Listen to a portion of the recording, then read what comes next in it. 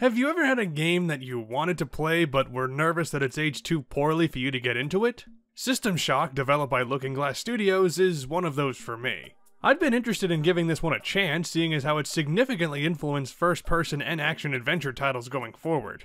I mean, this game basically codified how sci fi shooters should behave, and you can trace a lot of modern FPS design back to this, just as much as games like Wolfenstein and Doom. Its reputation precedes itself, which freaked me out enough to keep pushing this one off. What finally convinced me to give it a try was the upcoming remake by Nightdive Studios, the company responsible for reviving several old properties and re-releasing them on modern hardware, including System Shock 1 and 2. The remake is supposedly out this month, and just from playing the demo, I'm excited to give it a shot. But before I do, I figured it was finally time to see where the remake spawned from in the first place. Luckily for me, Nightdive released an enhanced edition of System Shock which ports the game to the Kex engine, upscales the resolution, and implements a modern control scheme. I'm playing that for this video, mainly to find a neutral ground between the classic version and what I'm used to playing. Besides the technical stuff, it's the same game as it was released in 1994, so it's time for me to hack into Citadel Station and finally see what I've been missing. Welcome back to Citadel Station. We hope your somnolent healing stage went well. Today is the 6th day of November, year 2072.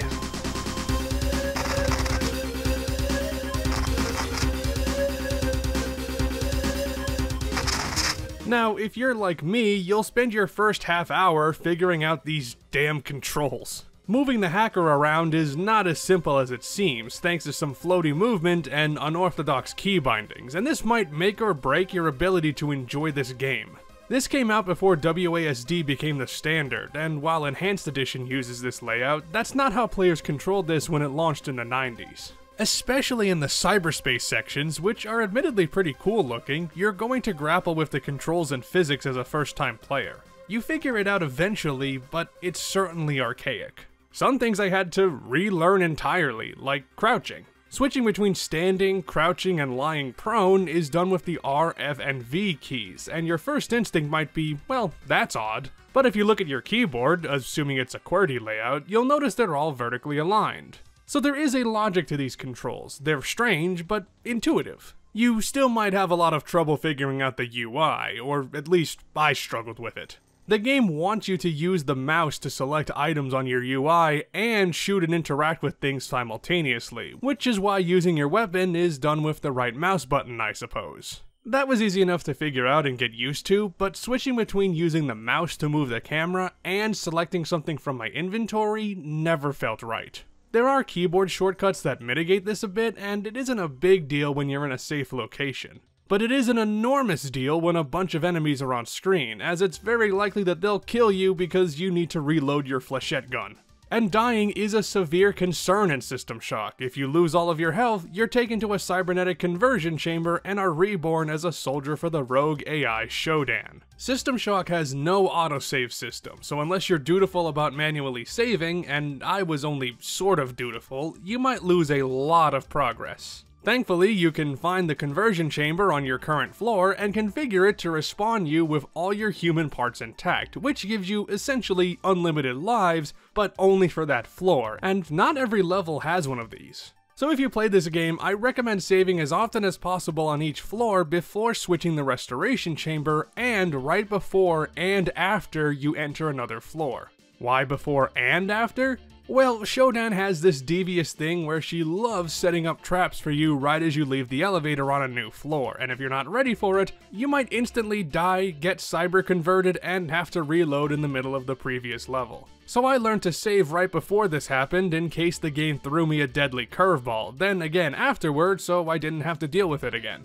But even if you've got the restoration chamber set up, these enemies can steamroll you if you're unprepared. I say can because the enemy AI sometimes felt very inconsistent. Sometimes they sniped me from somewhere before I ever saw them coming. Sometimes I had a direct sight line to me but just chose to keep walking around. I don't know exactly how the enemy's vision is determined, maybe it's based on their position or where their sprite is facing. Regardless, I counted several times when an enemy dawdled around when they should have been killing me. But when they are on target, they can take you down in a heartbeat.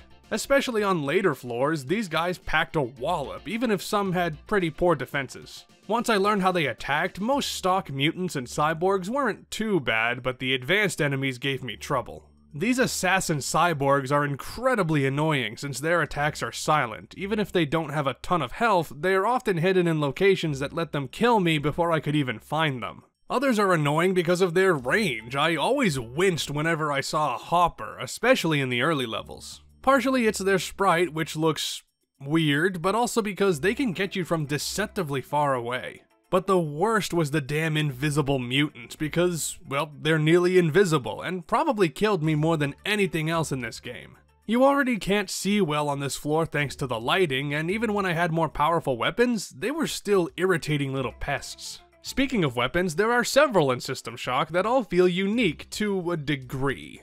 While these weapons are in set positions on each map, there are multiple pickups for most weapons throughout the game, so if you missed one earlier, you can still grab it later if you look hard enough. Yet with only 7 weapon slots at your disposal, you will have to pick favorites. Some are definite improvements over other models. I mean, the Magnum is a better pistol, so there's no reason to have both. By the 6th level, my arsenal was set. Once I had the Laser Rapier and Scorpion SMG, that's almost exclusively what I used, except for the Magnum to take down cameras, and occasionally the Railgun for encounters in open spaces. But the greatest offense against these creeps is leaning around corners, which is undoubtedly your best tactic. This saved me more than anything else, and the hacker can bend surprisingly far, giving you a good field of vision. Back to the weapons, however. One issue I have with System Shock is that it's not balanced very well. Most of these weapons are practical, but by the mid-game, you find weapons that are such a leap in practicality that they render everything else obsolete.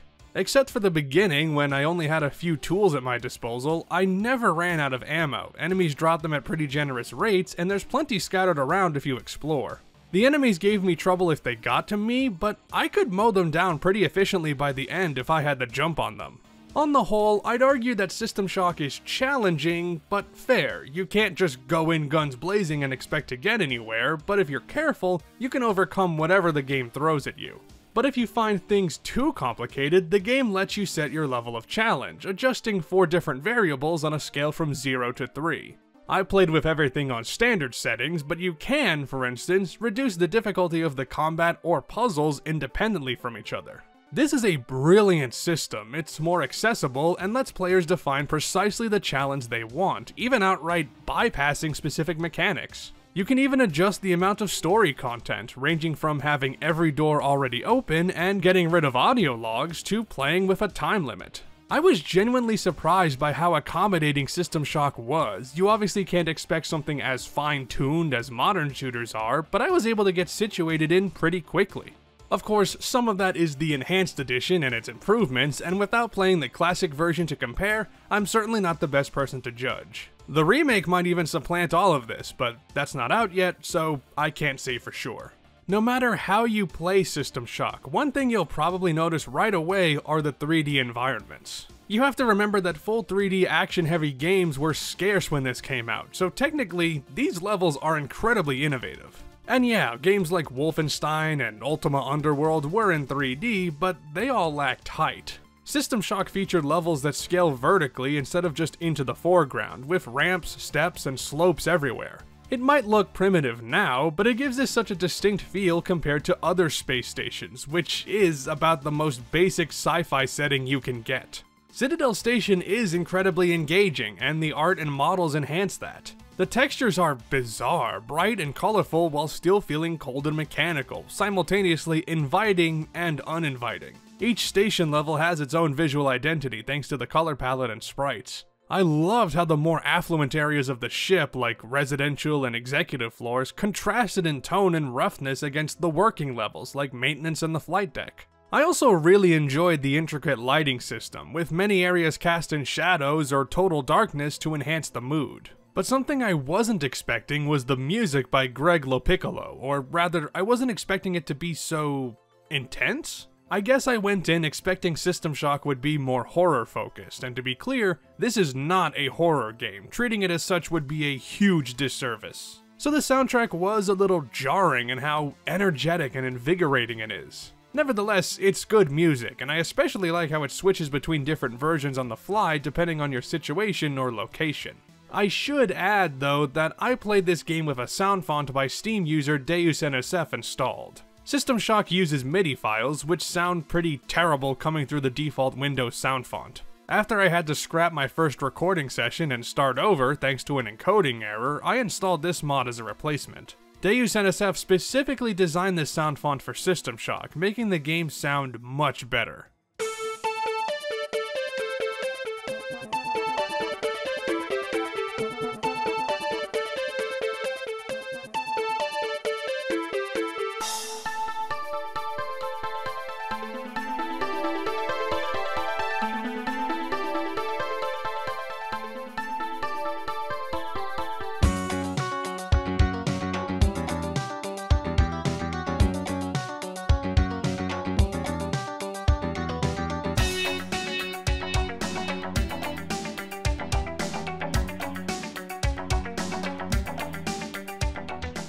Any sound font will probably work well enough, of course, it's just a matter of preference and what sounds best to you. But again, the music itself is very good, and helped contribute to System Shock's atmosphere, which I loved, as it's been a while since I played a game that scared me like this. Again, this isn't a horror game, but there is something about navigating an abandoned space station with monsters and killer robots roaming around that is inherently terrifying.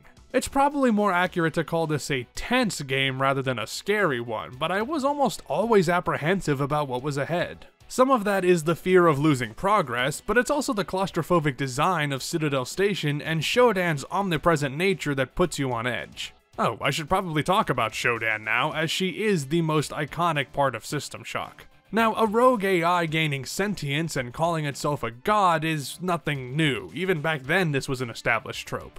But man, I love what they did with Shodan. Having her semi-frequently taunt the hacker was a brilliant move. You can hear her panic as you climb further up the station, disrupting her plans and pissing her off. Terry Brosius delivers an excellent performance, mechanical and lifeless, but still piercing with rage, and all the audio manipulation adds extra creepiness. My whims will become lightning bolts that devastate the mounds of humanity. Out of the chaos, they will run and whimper, praying for me to end their tedious anarchy. I just wish the voice acting as a whole was better, because the rest is pretty garbage. Not criticizing the script, because that's fine for the most part, but Looking Glass relied on its employees to voice these characters, and my god, it shows. You're not interacting with anybody directly in this game, it's all audio logs, some ramping the cheesiness level up to 11. Special shout out to Edward Diego, who'd be intimidating if he didn't open his mouth. Hey Shodan, take a letter. Dear TriOp, Please send some more people to investigate me. I run security. I run the robots. I'm jamming communications. That's right, Rebecca. Investigate me. Investigate my butt. What I do like, though, is the sound design that goes into some of these logs, especially toward the middle of the game. Many of them depict battles between the Citadel Station crew and Shodan cyborgs, and maybe they seem like small details, but they do help the storytelling immensely. These crates give us good position, but I don't see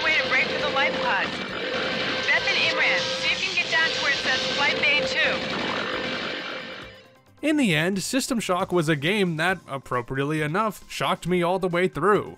It was surprisingly accessible with the Enhanced Edition, remarkably modern in how it redefined first person gaming, and tons of fun to play. I figured I'd enjoy System Shock on a higher level, appreciating its influence on the industry even if I couldn't get into the gameplay. But as it turns out, I can do both, and I love that I can do both. I highly recommend giving System Shock a try, with the caveat that you'll need to adjust your expectations accordingly.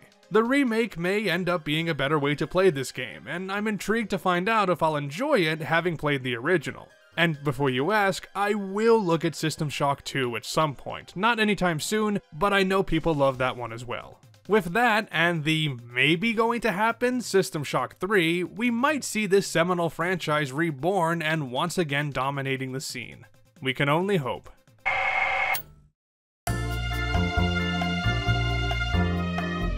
Thanks so much for watching. If you enjoyed this video, why not subscribe to see more and leave a like and a comment down below.